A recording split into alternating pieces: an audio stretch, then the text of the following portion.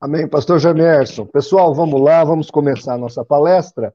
Uma breve explanação bibliográfica da minha pesquisa, porque, primeira coisa, você não vai achar um livro ou alguns livros específicos falando sobre as duas testemunhas. Então, eu quero passar aqui algumas informações bibliográficas para você, depois que terminar minha palestra, é, e, e, provavelmente ficarão ainda algumas dúvidas, você poder fazer aí a sua teodiceia, fazer a sua pesquisa, fazer uma viagem bibliográfica aí pelos livros. Olha, o primeiro que eu indico aqui é perguntas frequentes sobre as profecias, justamente do Arnon Fruz, acho que é assim pronuncia o nome, nome dele, da chamada, tá vendo aí? É um livro da chamada. Um que eu não poderia deixar de indicar eu comprei um novo agora esses dias no site da Chamada, que é um completo, porque antigamente ele vinha em quatro volumes, que é o que eu tinha lido. Apocalipse de Jesus Cristo, volume único, Vimalgo. Este livro vocês precisam dar uma lida. Ah, pastor, mas eu vou concordar com tudo que está aqui? Olha, se tem uma ciência bíblica que ninguém concorda absolutamente 100% com ninguém, é em escatologia. Mas o Vimalgo, ele vai te dar o alicerce e a base fundamental da cosmovisão pré-tribulacionista. E ele vale muito a pena. Este outro livro, junto com as revistas da chamada, foram usados para me discipular. O Plano Divino através do século é da editora CPAD do Lawrence Olson. Olha que livro espetacular.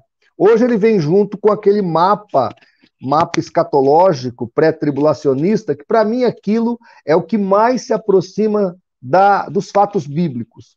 Eu não conheço nenhuma visão escatológica que chegue tão perto do que é a realidade teológica, bíblica, escatológica, do que o mapa que vem com este livro aqui.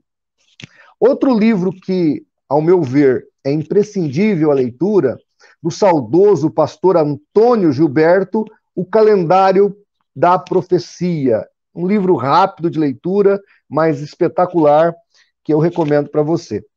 Outros dois, que esse aqui tem que ter em toda a biblioteca, de todos os que estudam escatologia, é o Manual de Estudo Profético, do Nag, Nag Kipler, Nag, acho que é assim que pronuncia o nome dele, editora Vida. Dá uma olhada aí, olha. Manual de Estudos Proféticos. Este livro aqui é uma ferramenta indispensável. Outro que provavelmente vocês que estão nos assistindo já conhecem, é um investimento que é realmente imprescindível na sua biblioteca, Manual de Escatologia do Dr. Pentecoste, editora Vida. Está aí o livro, um livro espetacular que você tem que ter. E os outros dois últimos, um deles é dessa série aqui, Comentário Rich do Novo Testamento. Conheça a Bíblia versículo por versículo. Eu estou com o livro de Apocalipse aqui. Muito boa a cosmovisão, a exegese que esse pessoal aqui faz, da Edições Cristãs, do Novo Testamento inteiro, mas principalmente do livro de Apocalipse, eu gostei muito. E vou indicar um agora, que é católico, que é de onde eu tirei a cosmovisão católica, mas que é interessante para você observar e ler, porque vai ter muita informação. Os católicos são preteristas históricos, eles acreditam que a maior parte do que está no Apocalipse, ou quase 100%, já aconteceu, mas é um livro interessantíssimo da editora Vozes, são dois teólogos católicos. Apocalipse de São João, ou Apocalipse de João, tá bom? Feito estas indicações, mostrando a fonte de onde eu fiz a minha pesquisa, porque eu quero deixar claro aqui, não vou e não tenho condições de inventar nada. Tudo que eu vou colocar aqui e explicitar aqui são fatos teológicos já recorrentes, tá? Dentro das cosmovisões que nós vamos aqui explanar. Então vamos lá. E eu quero aqui já começar mostrando para você que as duas testemunhas são dois profetas de Deus. Vou repetir. As duas testemunhas são dois profetas de Deus que são vistos em uma visão por João na ilha de Pátimos, que aparecem durante o segundo ai, a sexta trombeta, no livro do Apocalipse, que vai do capítulo, que está no capítulo 11, do verso 3 ao verso 13. Tá certo? Guarda isso, gente. Está escrito explicitamente que são dois profetas. Continuando, aí eu vou fazer, eu vou ler um breve resumo, viu, Jamerson? é, do que a Bíblia fala lá no capítulo 11 de Apocalipse, do 3, do 3 em diante ao 13, sobre essas duas testemunhas. Acompanhe comigo aí na sua tela. João relata que o átrio do templo de Deus está agora para, para as nações durante 42 meses. Durante este período de 1260 dias, ou 42 meses, ou três anos e meio, as duas testemunhas terão autoridade para profetizar vestidas de saco. Presta atenção, eu vou, eu vou lendo e comentando aqui o resumo. Presta atenção nisso. Aqui nós temos uma informação, porque são cinco vezes que aparece isso no livro de Apocalipse, que é importantíssima para a nossa visão pré-tribulacionista. Porque a nossa visão, ela define a grande tribulação com o, período de sete anos, que serão três anos e meio de paz três anos e meio, então, de grande tribulação, que seria e que é a última semana de Daniel, do capítulo 9, versículo 26 e 27. Então, aqui nós temos claramente explícito no livro de Apocalipse essa última semana acontecendo. Quando Jesus morre na cruz, termina as 69 semanas. Conclui-se aquelas semanas de Daniel, 69. Uma fica em aberto. E aí começa o tempo dos gentios. Aí nós sabemos que a igreja é arrebatada, então aí começa-se essa última semana. E, e, eu gosto, eu, acho, eu gosto muito do Vimalgo, porque quando você vai lendo o que ele explicita ali, você vai vendo que é o que está exatamente com é, bate exatamente com o que está em Apocalipse. Até o capítulo 4 nós temos a igreja. Depois nós temos a história falando do mundo e de Israel. Israel volta no centro da história novamente. Eu estava até comentando com a nossa igreja, agora nesta última escola dominical, sobre é, a, a, como é que os escatólogos faziam antes de 1948. Porque ah, os, os, eventos escatológicos deixam claros que Israel, Israel participará deles. A nação de Israel participará deles. Só que até 1948 não tinha nenhuma possibilidade de Israel voltar a existir. Era algo completamente abstrato. Imaginar que um dia a nação de Israel, ou que Ezequiel 37, aquele vale de ossos secos, tornaria a reviver.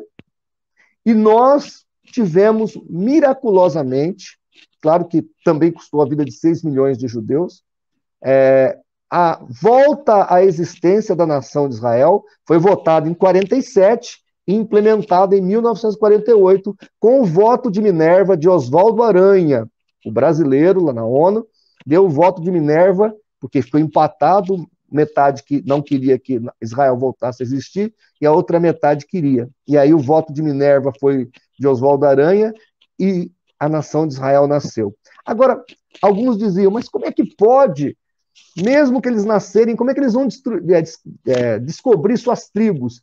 E por incrível que pareça, eles estão, agora eles têm um sistema genético para descobrir a genealogia de cada judeu, e também eles estão mapeando as tribos já tem gente de toda tribo lá em Israel. As pessoas conseguem, estão conseguindo descobrir as suas tribos. Agora, recentemente, voltou, é, eu acho que foi da Índia, a tribo de Dan ou de Benjamim, não lembro qual tribo que fugiu para uh, a Índia. E voltou também, na década de 90, uma tribo, que eu acho que. Ou é Benjamim Dan ou é Dan Benjamim. Uma veio da Índia, uma parte das pessoas, e outra parte das pessoas veio da África.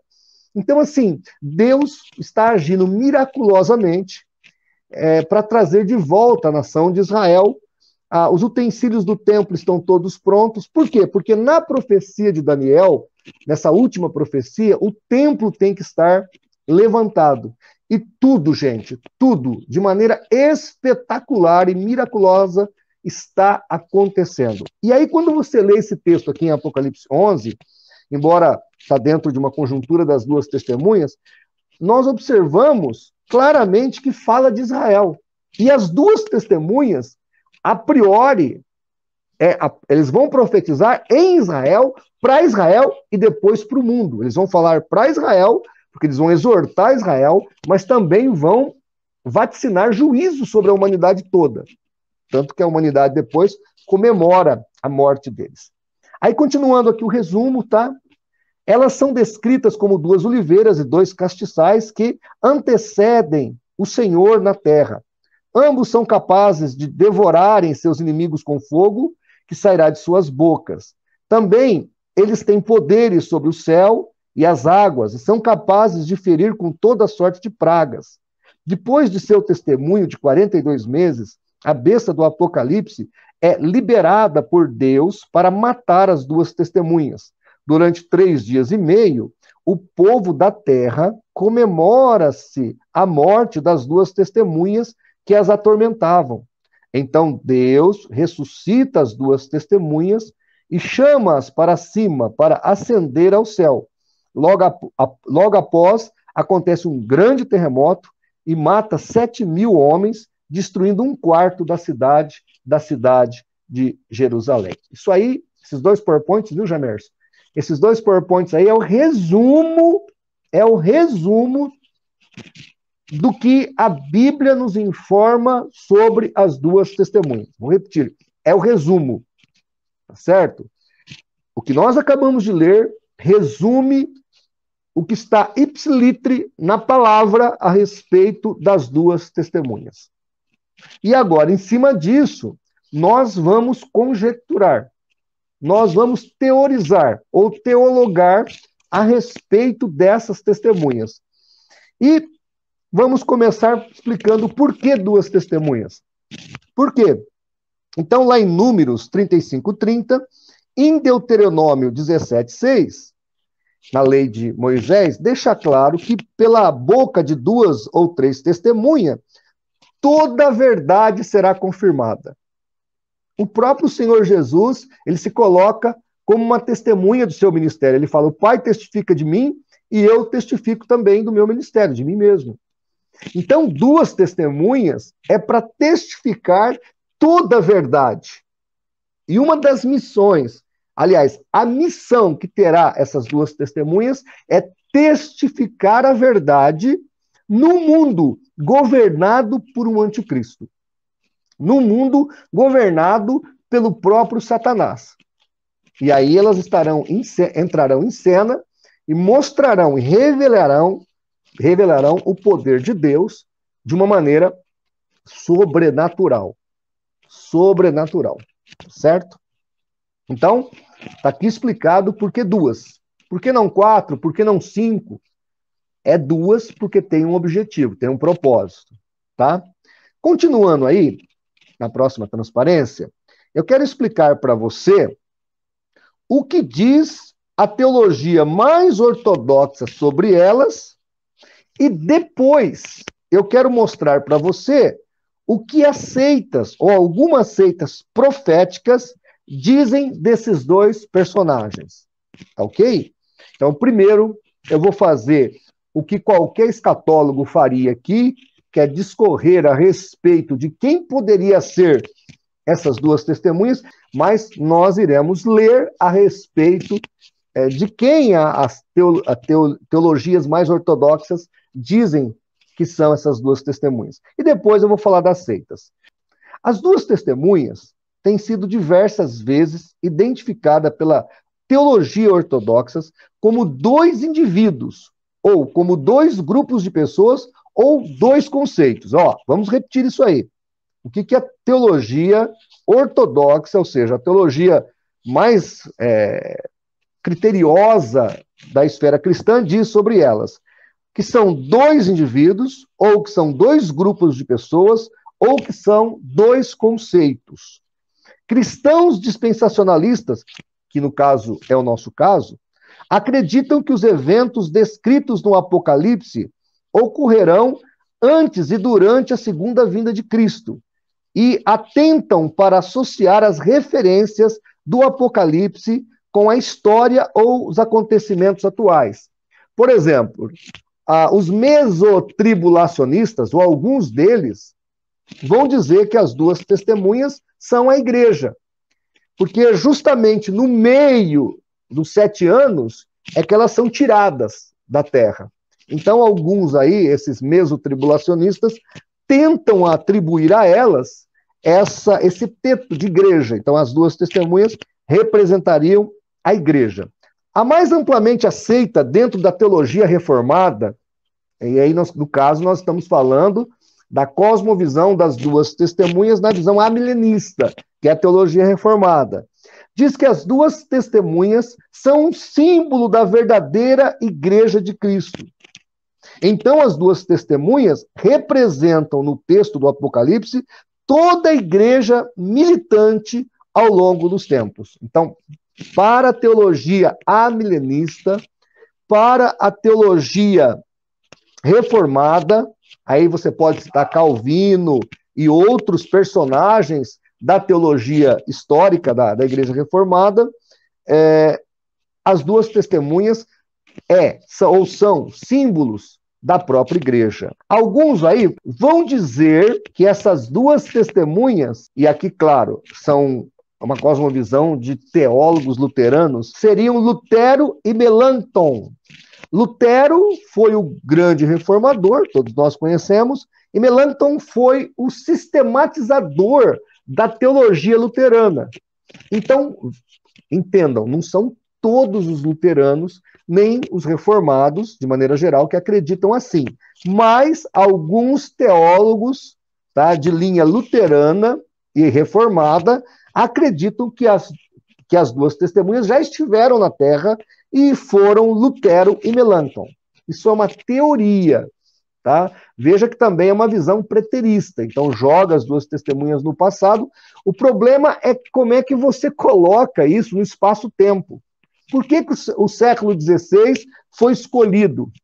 Por que, que o Apocalipse, capítulo 11, estaria acontecendo no século XVI, justamente com Lutero e Melanchthon? É uma questão complicada aqui, eu acho que fica difícil a explicação. É, dentre todas as interpretações sobre quem são as duas testemunhas do Apocalipse, provavelmente a mais popular entre os cristãos é de que são Enoque e Elias. E aqui, gente, eu já vou fazer uma divina revelação, como diria alguns pregadores neopentecostais, né? Vou fazer aqui uma revelação do meu ponto de vista, da minha cosmovisão, e eu sempre tive essa mesma visão, já estudei, já li muito, e para mim, já já vou explicar por quê, as duas testemunhas têm nome e sobrenome, e o nome delas é Enoque ou Elias. Elias é um dos nomes mais comuns e aceito pela maioria das teorias, porque lá em Malaquias fala que Elias virá. E alguém, obviamente, vai argumentar, pastor, o Senhor Jesus disse que Elias já veio e ele era João Batista. Na verdade, Jesus está corroborando que Elias, que é de vir aqui, é João Batista, porque vieram no mesmo espírito. Essa é a ideia. Agora, nós sabemos que profecias escatológicas, e Maimônides, o grande exegeta judeu, já falava isso das profecias judaicas, elas acontecem, às vezes, em duas ondas, ou em dois picos. Um pico mais baixo aqui, lá na frente um pico mais alto. E você olha, tem aqui um, um, um pré-acontecimento, e lá na frente um acontecimento pleno dessa profecia. Foi o caso da virgem, lá em Isaías capítulo 7. A virgem que ia conceber, né, ela, ela aconteceu a história lá na época do profeta Isaías. E voltou a acontecer aqui com o Messias. Ah, aquilo que acontece em Mateus 24, 25, nós temos parte daquela profecia acontecendo com a invasão do general Tito. Mas, com certeza, teremos um, um, um repeteco desse ato profético, dessa, desse acontecimento profético com Israel, lá com o anticristo no final da grande tribulação, ou do final dos sete anos, que é a última semana de Daniel. Então não vejo problema de Jesus ter identificado é, João Batista como Elias, que havia de vir para aquele momento, e Elias, como está em Malaquias, aparecer novamente antes do, do aparecimento do Senhor, da, do arrebatamento, aliás, do, do, da manifestação de Jesus para toda a humanidade e para Israel, que é quando ele vem, coloca os pés no Monte das Oliveiras, fende o monte, aquilo que está em Zacarias de 12 a 14, tá certo? Então eu não vejo problema para que haja duplo acontecimento profético. Então, Enoque e Elias ao meu ver, é a teoria mais aceita e é, para mim, a teoria mais plausível. Já já eu vou comentar por quê. O principal ponto, acompanhe comigo aí no PowerPoint. O principal ponto de defesa para que as duas testemunhas sejam identificadas como sendo o profeta Elias e Enoque diz respeito ao fato de que esses dois homens foram os únicos a estarem com Deus sem passar pela morte.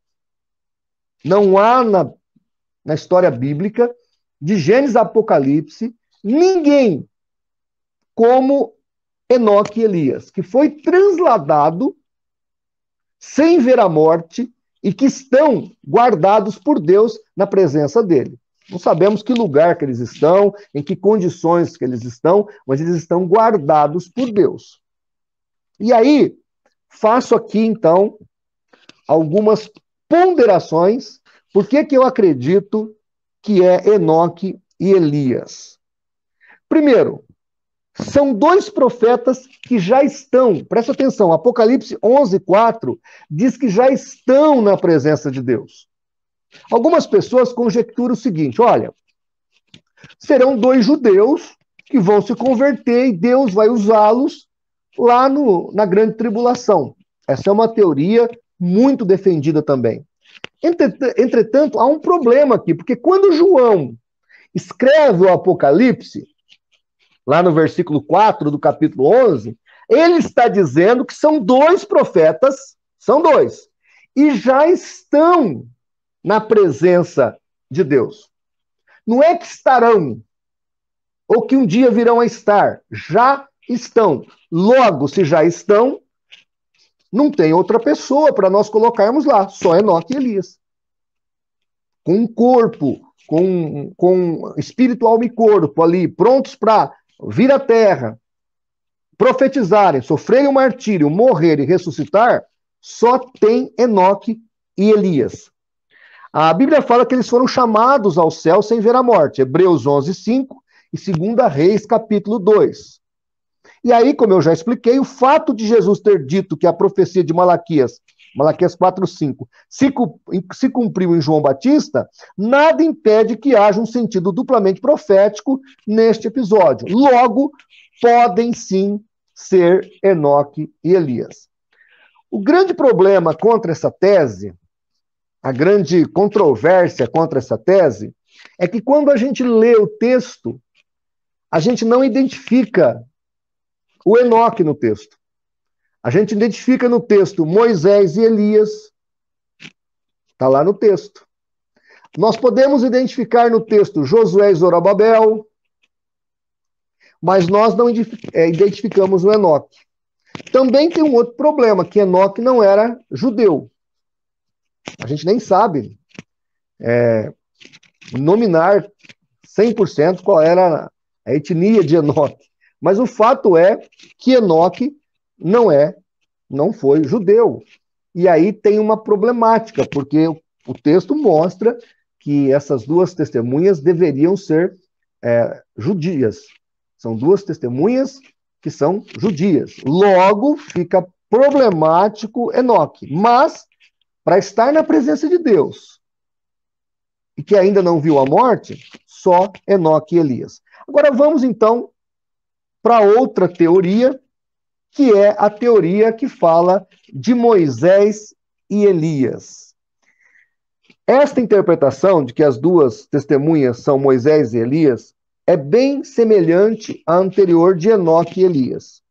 A diferença é que, ao invés de Enoque, a outra testemunha será Moisés. A principal defesa para esta linha de interpretação fica por conta de que as duas testemunhas possuem características que lembra os dias desses homens na terra. As duas testemunhas poderão ferir a terra com toda sorte de pragas, converter a água em sangue, como no ministério de Moisés. Elas também terão poder para fechar o céu, para que não chova, assim como Elias. Vocês estão entendendo?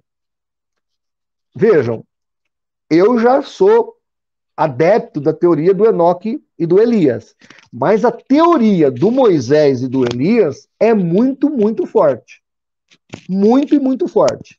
Por quê? Porque nós temos ipsilitre, as características dessas pessoas no Velho Testamento. Você olha para o texto e você vê categoricamente Moisés e você vê categoricamente Elias. Você não vê Enoque. Você não vê, embora tenha uma citação de Zacarias, para a gente poder ligar com Zorobabel e Josué, mas de maneira contundente na ação das duas testemunhas, só Moisés e Elias. E aí, por quê? que Moisés e Elias são muito falados como possíveis testemunhas, porque no Monte da Transfiguração, quem aparece ali é Moisés e Elias. E o Dr. Matthew Henry, Matthew Henry, ele tem uma teoria. Ele não fundamenta, ele não fala como, ele não fala de que jeito, que até o professor adventista Leandro Quadros adulterou a fala de Matthew Henry. Eu já fiz até um vídeo sobre isso. Mas Matthew Henry fala que Moisés ressuscita, aparece no monte da transfiguração para estar ali com Elias, falando com Jesus, e depois volta a morrer. Veja, é uma questão problemática, e eu sei que você vai citar Hebreus 9, 27, que está dito: ao homem está ordenado morrer uma só vez, vindo depois disso o juízo. Mas, mas nós temos uma teoria, que não é minha, é de um pastor batista, e que eu acho que é muito ortodoxa, que não vê problema em um crente ressuscitar e voltar a morrer antes da ressurreição de 1 Coríntios capítulo 15, versículo 23, que aquela ressurreição é para nunca mais morrer. Porque nós temos dez ressurreições na Bíblia. E todos os casos de ressurreições na Bíblia eram de pessoas salvas que voltaram a morrer e que um dia vão ressuscitar para estar na glória conosco. O que eu estou dizendo é que quem pode ressuscitar primeiro teria que ser um salvo, porque você não tem um exemplo de que um não salvo recebeu uma ressuscitação é, diante da morte, morreu e foi ressuscitado. Todas as pessoas do Velho e do Novo Testamento que passou pelo processo de ressurreição voltaram a morrer. Então, logo, segundo Matthew Henry, é uma teoria, Moisés poderia ser ressuscitado para ter mais uma oportunidade ministerial ali, para profetizar junto com Elias, que não morreu, e depois que for morto lá na praça, ser ressuscitado novamente e receber um corpo glorificado para nunca mais morrer. Essa é uma teoria. Eu acho muito, tem muitos, muitos pontos difíceis nessa teoria.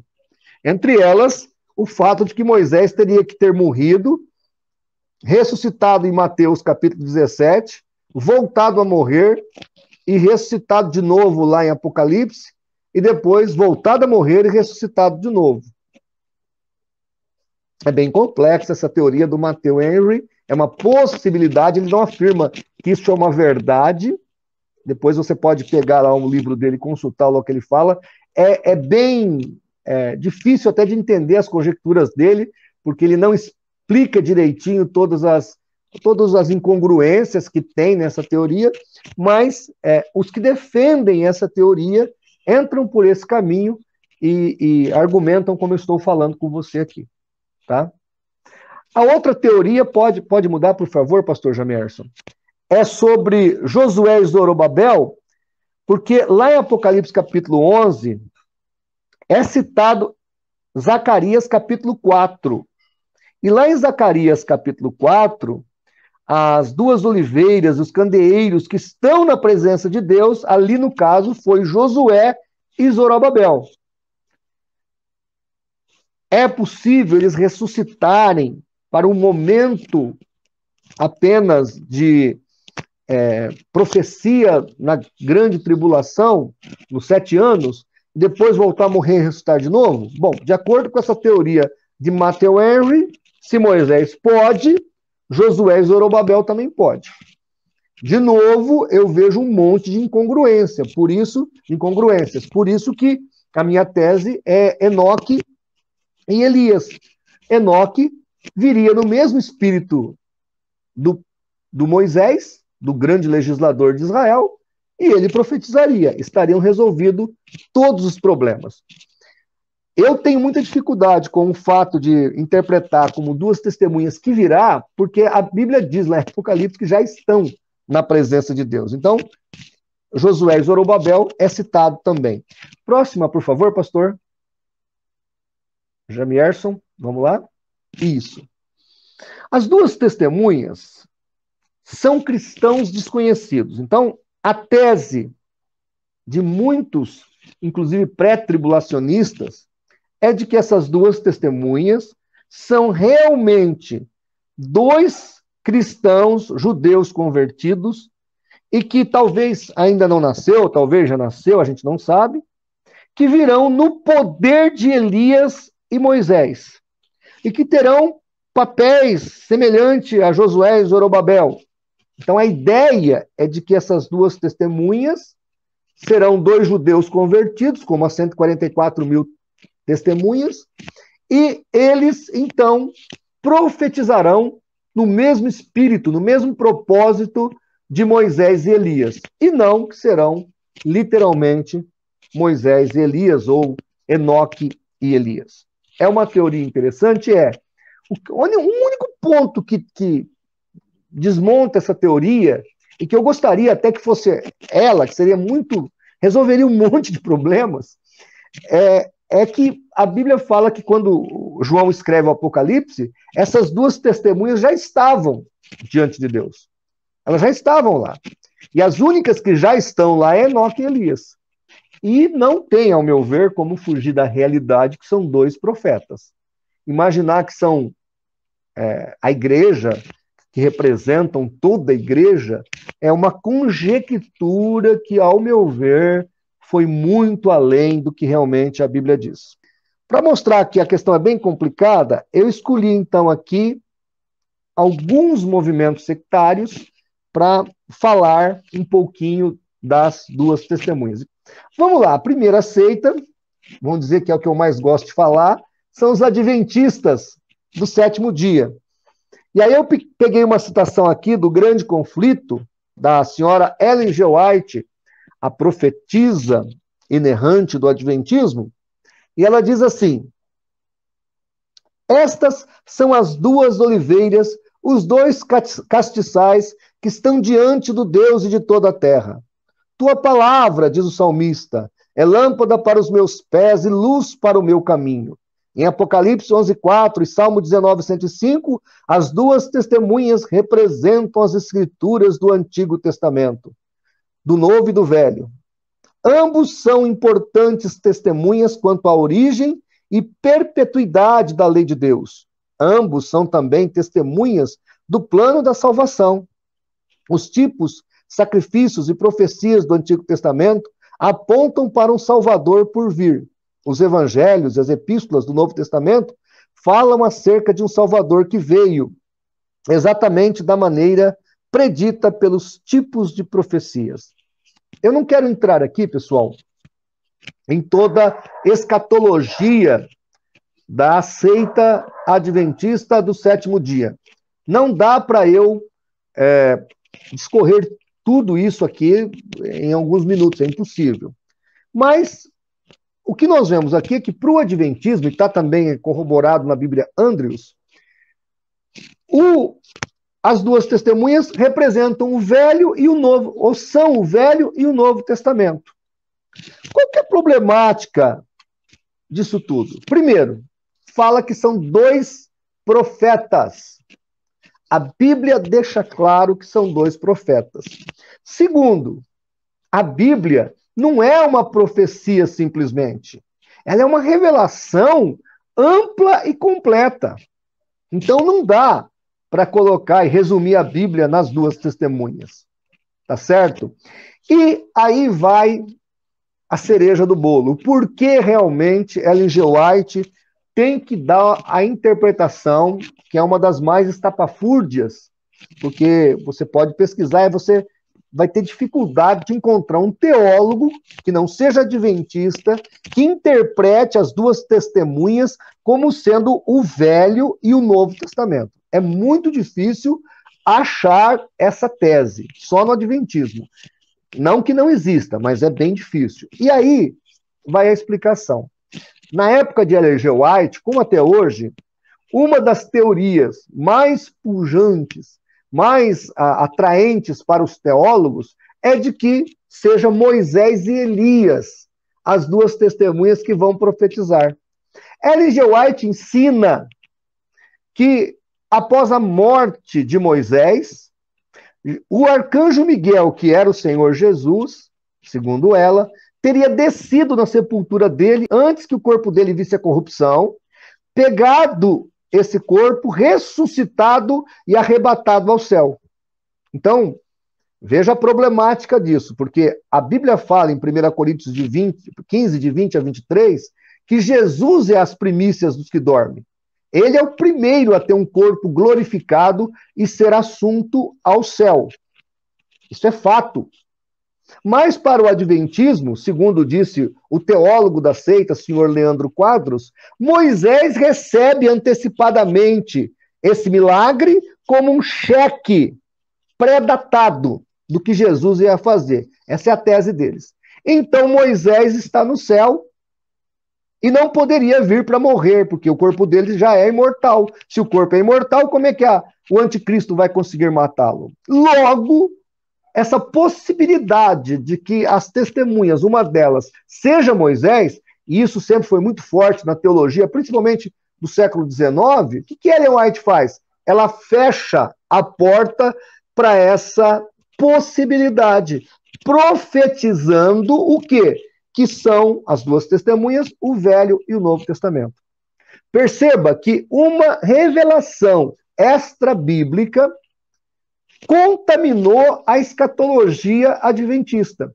E por isso, no adventismo, eles têm essa concepção do que são as duas testemunhas. Ou seja, é o Velho e o Novo Testamento, porque não pode ser dois profetas. Porque se você coloca que podem ser dois profetas, você tem que aventar a possibilidade de que seja Moisés e Elias.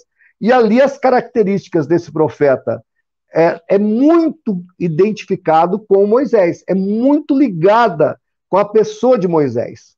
Uma delas, é, se não fosse essa questão problemática da ressurreição e morrer de novo, etc. e tal, é contundentemente Moisés. Tá certo? Então, por isso, nós temos aí o Adventismo soltando essa pérola, porque eles não podem conjecturar que seja diferente. E é claro, e eu aqui digo também, não dá para conjecturar que é a igreja, as duas testemunhas, não dá para conjecturar que é só uma ideia. A Bíblia é muito clara, são dois profetas, tá? Podemos conjecturar se é Zorobabel e Josué, se é Moisés e Elias, se é Enoque e Elias, se é dois cristãos judeus que vão profetizar no futuro, tudo isso é plausível, ao meu ver. Dizer que é o Velho e o Novo Testamento, ou até mesmo a igreja, aí fica difícil. Isso é uma interpretação que eu, ao meu ver, não consigo conceber essa cosmovisão, tá? Nós vamos para o catolicismo, meu querido. Isso, obrigado. Diz o teólogo católico que eu até mostrei para vocês aqui o livro, que Pedro e Paulo representam a boa nova de Jesus e a realização das promessas do Antigo Testamento. Então, embora o catolicismo ele tenha outras conjecturas a respeito das duas testemunhas, uma das correntes muito forte dentro da visão católica é que seja Pedro e Paulo. Por quê? Para os católicos, essa cidade santa, ela é a Roma, não é Jerusalém, mas é Roma, e para eles as pessoas são Pedro e Paulo, porque Pedro é considerado o primeiro papa. E Paulo é praticamente o edificador, a coluna principal do Novo Testamento. Então, na cabeça do catolicismo romano, Pedro e Paulo representam isso de uma maneira, essas duas testemunhas, de uma maneira assim é, fantástica. Preenche todas as lacunas nas, na visão do catolicismo.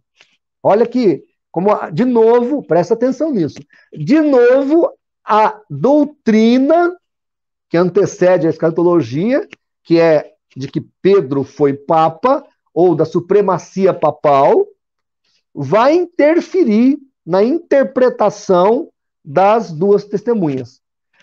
Aqui nós aprendemos uma lição, pessoal, muito interessante. Muito da escatologia sectária, ela é influenciada pela visão que aquela organização sectária tem. Eu vou abrir um parênteses aqui para falar uma coisa que o Dave Hunt falava muito. E eu sei que vai ter muita gente brava comigo pelo que eu vou falar, mas quero deixar claro que não é minha fala, é do Dave Hunt.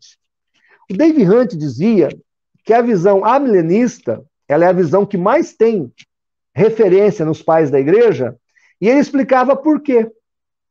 Qual foi o primeiro grupo que perseguiu a igreja de Jesus? Os cristãos. Foram os judeus.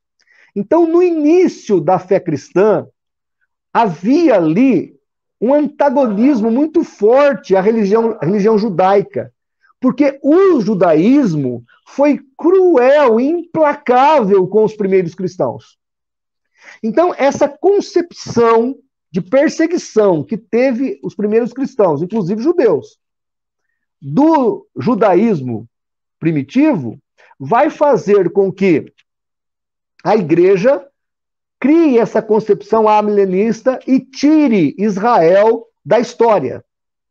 Sem contar que no ano 70, quando Israel é desbaratado pelo imperador Tito, não tinha, repito, não tinha como olhar para as escrituras sagradas e imaginar que um dia a nação de Israel nasceria.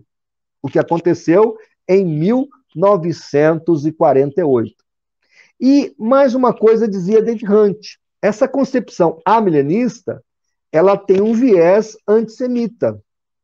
Por exemplo, o luteranismo, ele era amilenista. Por quê? Porque dentro da concepção luterana havia ali uma, uma aversão ao judaísmo. Eu até disse num dos meus vídeos aqui recentemente no, no canal do CSP Vídeos que eu li um livro fantástico do pastor Ignaldo L. de Souza sobre o povo de Deus, sobre a história dos judeus, e uma das ações que Hitler fez na Alemanha para disseminar ali a aversão pelos judeus foi traduzir um livro de Lutero e distribuir gratuitamente em toda a Alemanha. Panfletou a Alemanha com um livro de Lutero.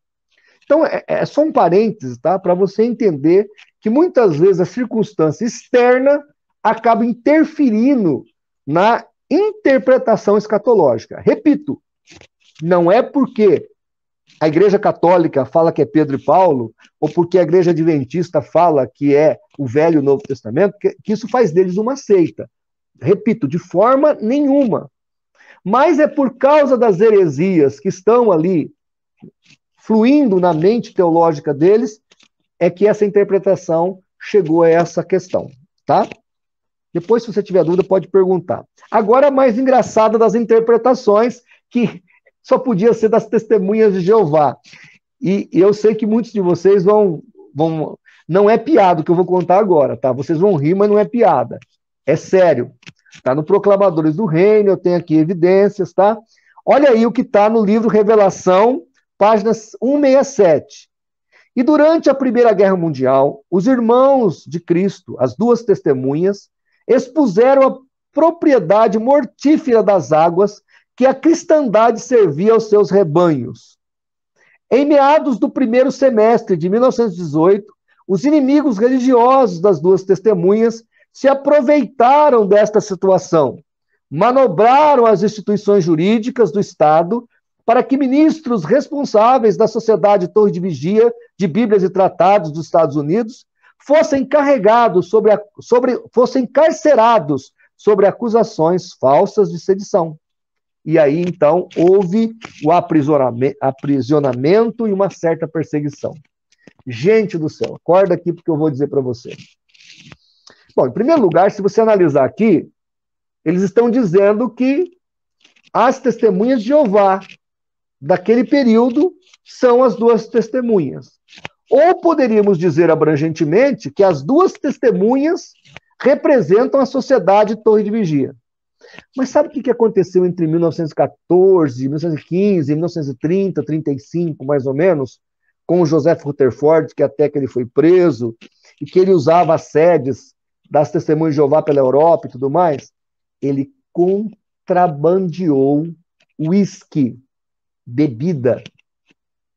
Ele gostava de vender e também de apreciar o produto. E Joseph Rutherford, ele vai arrumar uma confusão com o fisco norte-americano, com a Receita Federal norte-americana, porque ele estava contrabandeando o uísque para dentro dos Estados Unidos. Por isso que ele foi preso.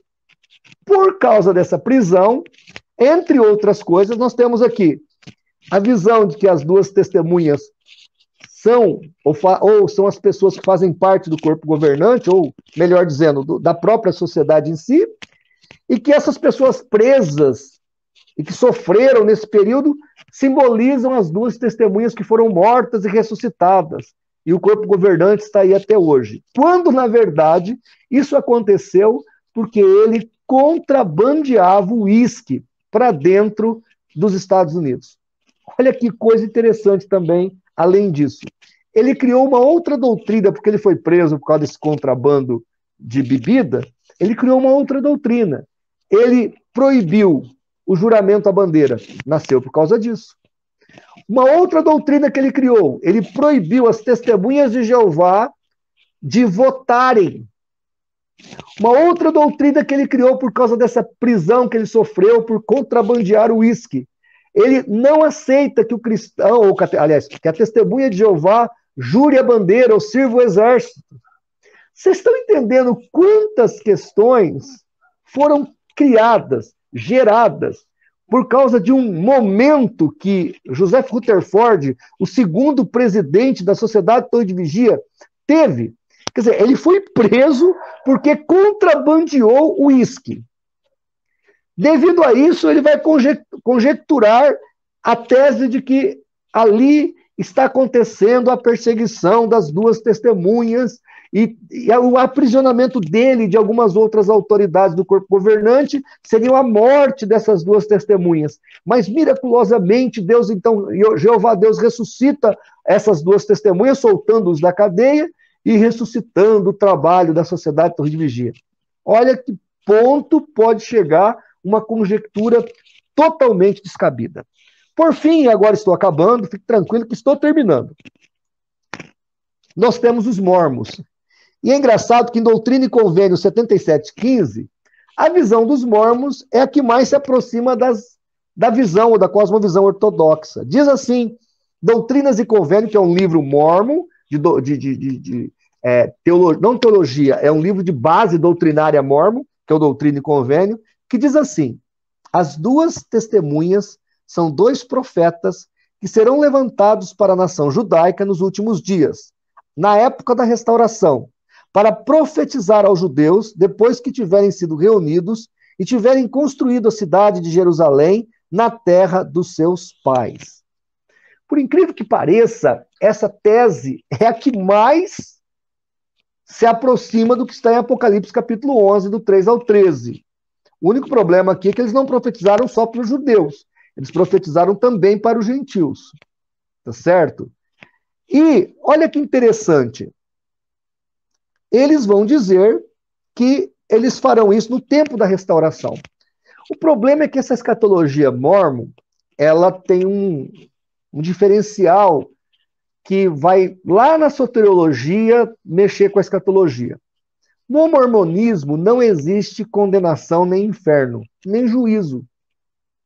Você tem dentro da visão deles a salvação para todos. Só que as pessoas morarão em níveis diferentes de céu. Então, as pessoas mais ruins morarão no teleste, no céu teleste. As pessoas mais ou menos morarão no terrestre. E as boas pessoas, que são os mormos, morarão no celeste. Então, olha, celeste, terrestre e teleste. São três níveis de céu ou de morada eterna, aonde você vai é, colocar um grupo de pessoas. O problema é que que juízo essas duas testemunhas vão proferir lá na cidade, lá na praça, se elas não têm com o que proferir, porque não haverá juízo, Deus vai salvar todas as pessoas. Pensem comigo. Então, o que elas vão profetizar? Qual vai ser o juízo que elas vão declarar sobre a Jerusalém daquele tempo e sobre a humanidade daquele tempo? Fica meio confuso, né?